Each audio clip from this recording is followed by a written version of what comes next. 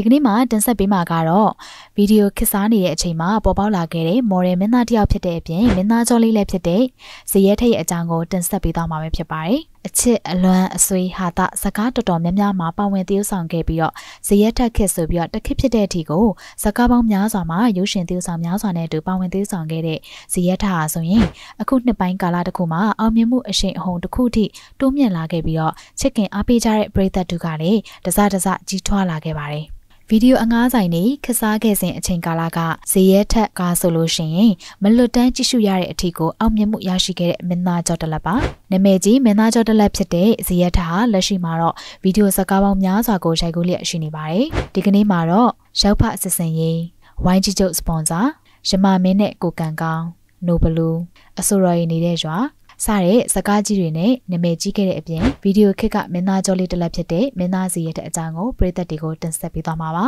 ။ကဲစီရဲ့တဲ့ရဲ့ပရိသတ်များရှိကြရလားနော်။ဗီဒီယိုစကားတွေအများကြီးရိုက်ကူးခဲ့ပြီးတော့ဖြူဖွေးလွန်းတဲ့အသားရည်နဲ့ချုံမောလွန်းတဲ့မျက်နှာလေးနဲ့ပရိသတ်တရဲ့ရှင်ဘတ်ထဲကိုတွင်ကြီးစေရဲ့ဇေယျတက်ကို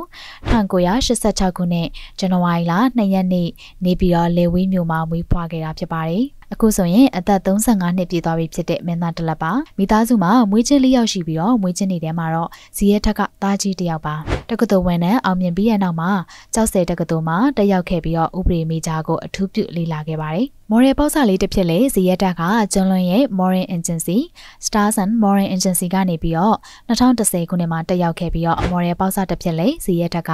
မော်ရယ်ပညာရပ်ကိုလေ့လာသင်ကြားခဲ့ပြီးတော့မော်ရယ်ကောင်းတစ်ယောက်ဖြစ်လာခဲ့ပါတယ် အနုပညာလုပ်ငန်းကိုမော်ဒယ်တယောက်အနေနဲ့ဝင်ရောက်ခဲ့ပြီးတဲ့အခါမှာများပြားလွန်းတဲ့မော်ဒယ်ပြိုင်ပွဲတွေကိုဝင်ရောက်ရှင်ပြိုင်ခဲ့ပါတယ်။ယောက်ျားလေးမော်ဒယ်ပြိုင်ပွဲများစွာကိုဝင်ရောက်ရှင်ပြိုင်ပြီးတဲ့နောက်မှာစုရီအများကြီးကိုလည်းလက်ခံရရှိခဲ့သူပါ။ Mr. Crown Award, Mr. Labiwon Second Runner Up, Mr. Best Match Awards Mr. Hero အစရှိရဲ့စုတစိတ်များစွာကိုရရှိခဲ့တဲ့အောင်မြင်တဲ့ model point တူပါ model point တူအနေနဲ့နာမည်အတော်တန်ရရှိခဲ့တဲ့ဇယက်တက်ကများပြားစွာသောရုပ်သံကြော်ညာတွေနဲ့တခြားစီးပွားရေးကြော်ညာတွေကိုပါလက်ခံရိုက်ကူးလာပါတယ်မော်ရတယောက်အနေနဲ့ကြော်ညာမင်းသားတရဲ့အနေနဲ့ရောပရိသတ်တွေကတတိထားမိကြတဲ့ဇယက်ထက်ကရုပ်ရှင်ရိုက်ကူးမှုကိုစတင်လှုပ်ဆောင်ပါတော့တယ် ဇီယက်တက်ကသူ့ရဲ့ပထမဦးဆုံးသောဇာတ်ကားနဲ့ Lavender ရုပ်ရှင်ထုတ်လို့ရေးကနေထုတ်လို့ဖြန့်ချီတဲ့ပြောလို့မဖြစ်ဘူးဆိုတဲ့ဇာတ်ကားမှာပထမဦးဆုံးသရုပ်ဆောင်ခဲ့ပြီးတော့မင်းသမီးနန်းခင်စရာနဲ့အတူသရုပ်ဆောင်ခဲ့တာပဲဖြစ်ပါတယ်။ဒီဇာတ်ကားကိုဒါရိုက်တာလွန်ပိုကနေရိုက်ကူးပုံဖော်ခဲ့တာပါ။ပထမရိုက်ကူးခဲ့တဲ့ဇာတ်ကားနဲ့အောင်မြင်မှုတွေရရှိခဲ့တဲ့ဇီယက်ထက်က30 February ဆိုတဲ့မင်းသားဖြစ်ဖြစ်ချင်းမှာရိုက်ကူးခဲ့တဲ့ဇာတ်ကားမှာလည်းအောင်မြင်မှုရရှိခဲ့တဲ့ဇာတ်ကားတကားဖြစ်လာခဲ့ပါတယ်။ နောက်ထပ်ဇီယက်တက်ကချုပ်စည်းဆိုတဲ့ဇကားကိုလည်းဇက်ဆောင်မင်းသားနေရာကနေပါဝင်လာခဲ့ပါတယ်။ဒီဇကားကိုနာမည်ကြီးရုပ်ရှင်မင်းသမီးတူဖြစ်တဲ့အကယ်ဒမီတလက်ဖြစ်တဲ့ဖွဖွေးနဲ့အတူသရုပ်ဆောင်ခဲ့တာဖြစ်ပြီးတော့ဖွဖွေးနဲ့အတူတွဲဖက်ညီညီသရုပ်ဆောင်နိုင်တာကြောင့်ကြည့်ရှုသူပရိသတ်တရဲ့ကြားမှာပါနာမည်ကြီးသွားခဲ့တဲ့ဇကားဟာဇေယျတက်နာမည်ကြီးခဲ့တဲ့ဇကားတကားဖြစ်လာခဲ့ပါတယ်။ဇေယျတက်ဟာနောက်ထပ်နာမည်ကြီးဇကားများဖြစ်တဲ့ကြိုက်တာရွေးလိုက်လူပြိုတွေပဲလူစိုးလေးများမိုးနံတဲ့နဲ့ နေမဝင်ညနေအညီဆယ်ရက်ကောက်ကြောင်မြင်းမြိုင်စတဲ့ဇာတ်ကားတွေကိုတည်ဆောင်ခဲ့ပါတယ်။ဒီဇာတ်ကားတွေအပြင်ရုပ်ရှင်ဇာတ်ကားကြီးတွေကိုပါရိုက်ကူးခဲ့တဲ့ online ပေါ်ကဝိညာဉ်ဆိုတဲ့ဇာတ်ကားမှာပါဝင်တည်ဆောင်ခဲ့တာပါ။ဒီဇာတ်ကားကအသေးအခါဖြစ်ပြီးတော့ဒီဇာတ်ကားကြီးကိုရုပ်ရှင်မင်းသားမင်းသမီးများဖြစ်တဲ့နေတိုဖွဖွေချမ်းမီမီကိုလိုနဲ့အတူတည်ဆောင်ခဲ့တာဖြစ်ပါတယ်။ဒါရိုက်တာညီညီထုံးလွင်ရိုက်ကူးခဲ့တဲ့ဇာတ်ကားတရေကဖြစ်တာကြောင့်နာမည်ကြီးရဲ့ဇာတ်ကားကြီးတကားဖြစ်လာခဲ့ပါတယ်။ အဲဒီနောက်ရာဇဝင်ရိုင်းခဲ့သည်ဆိုတဲ့ဇာကားကြီးကိုရိုက်ကူးခဲ့ပြီးတော့ဒီဇာကားမှာမင်းသမီးစင်စင်စော်မြင့်နဲ့တူသီးဆောင်ခဲ့တာကြောင့်နာမည်ကြီးဇာကားတကားလည်းတဖန်ပြန်ဖြစ်လာခဲ့ပါတယ်။ဇီယက်တကမိသားစုကြောင့်စိတ်ကစင်ကလေးဖြစ်နေတဲ့ကောင်လေးတယောက်နေရာကနေရာဇဝင်ရိုင်းခဲ့သည်ဆိုတဲ့ဇာကားကြီးမှာသီးဆောင်ထားပြီးတော့နာမည်ကြီးဇာကားတကားဖြစ်လာခဲ့တာပါ။နောက်ထပ်ဇီယက်တကအသေးကွဲပါတီဆိုတဲ့ရုပ်ရှင်ဇာကားကြီးမှာပါဝင်သီးဆောင်ထားပြီးဒီအသေးကွဲပါတီဆိုတဲ့ဇာကားကလည်းနာမည်ကြီးဇာကားဖြစ်လာပါတယ်။ ဒီစကားကိုဒါရိုက်တာမောင်တရားနဲ့အော်ရတာတို့တူတူတွဲဖက်ရိုက်ကူးထားပြီးတော့ဝတ္ထုအကြည်တော်ရဲ့ဝတ္ထုကိုပြန်လည်ရိုက်ကူးထားတာပဲဖြစ်ပါတယ်။ဟာတာစကားကြီးတကားဖြစ်ပြီးတော့နောက်ထပ်ထပ်မံရိုက်ကူးခဲ့တဲ့စကားကတော့အဆိုတော်ရီနေတဲ့ရွာဆိုတဲ့ဟာတာကားကြီးပါ။အထူးသရုပ်ဆောင်အနေနဲ့မြမပီသိန်းနံနဲ့အတူဇနီးသိနန္ဒာတန်းတို့ပါဝင်ခဲ့တဲ့စကားတကားဖြစ်ပြီးတော့နာမည်ကြီးသရုပ်ဆောင်နေတဲ့ပါဝင်ခဲ့တဲ့စကားတကားပဲဖြစ်ပါတယ်။သရုပ်ဆောင်ဇရဲထက်နဲ့အတူမင်းမော်ကွန်ဒိန်းတောင်ကင်ကြီးမြမျိုးခိုင်ခင်လိုက် ရှင်မွန်ယတိပူပူအစရှိရဲ့တရုတ်ဆောင်နေတဲ့အတူဟာတာကဖြစ်တဲ့အတွက်ပရိသတ်တရဲ့ကြားမှာရေပန်းစားခဲ့တဲ့ဇာကားတကားပါတရုတ်ဆောင်ဇရက်တက်ကနာမည်ကြီးဇာကားကြီးတွေဖြစ်တဲ့ဖရဲသီးမော်တဲ့ဝိုင်းကြီးချုပ်စပွန်ဆာရောက်ပါစစ်စင်ရေးအစရှိတဲ့ဇကားကြီးတွေထဲမှာတရုပ်ဆောင်ခဲ့ပြီးတော့နာမည်ကြီးဇကားတွေဖြစ်လာပါတယ်။နောက်ဆုံးရိုက်ကူးပုံဖော်ခဲ့တဲ့ဇကားကတော့ပညာပေးဇကားဖြစ်တဲ့အပြင်မိဘမြတ်တာကိုဖော်ညွှန်းပြတဲ့နိုဘလူးဆိုတဲ့ဇကားကြီးမှာပါဝင်တရုပ်ဆောင်ခဲ့တဲ့ဇကားပါ။ ဒီဇကားထဲမှာတော့ဖိုးလာမင်းဆိုတဲ့နေရာကနေတရုပ်ဆောင်ခဲ့ပြီးတော့တခြားနာမည်ကြီးတရုပ်ဆောင်တွေဖြစ်တဲ့လူမင်းရှီမုံယတီ